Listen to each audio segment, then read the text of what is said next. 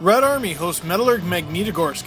Red Army is missing not only Pavel Datsyuk and Mikhail Grabovski, who are gone to the NHL, but also Alex Radulov, who was scratched after a conflict with the coach.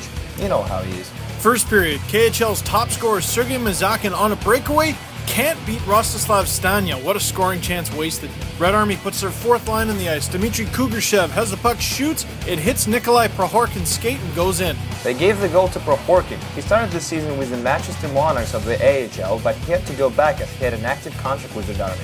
That's his first of the season.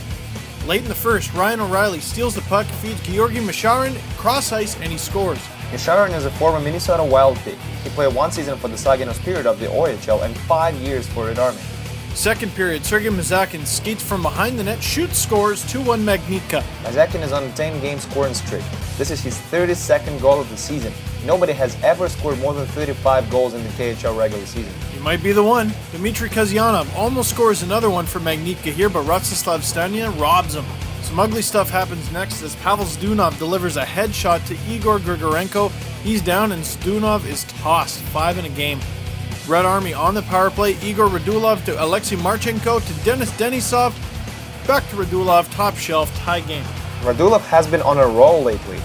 He's on a five-game point streak during which he scored three goals and had two assists. He has to deliver for himself and his brother, though. That's a tough job.